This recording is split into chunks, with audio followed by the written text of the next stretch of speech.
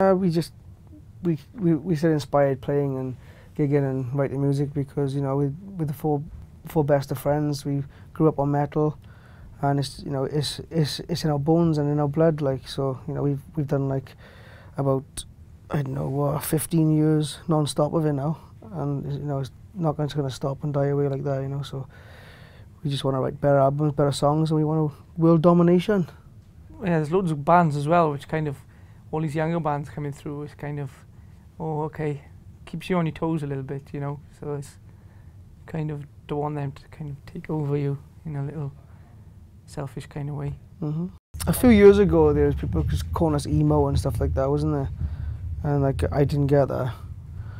I just don't really get the labeling of all different kinds. It just I just don't agree with it. I mean, but whatever they put they perceived emo to be, they were saying that we were there like about five years ago, was it?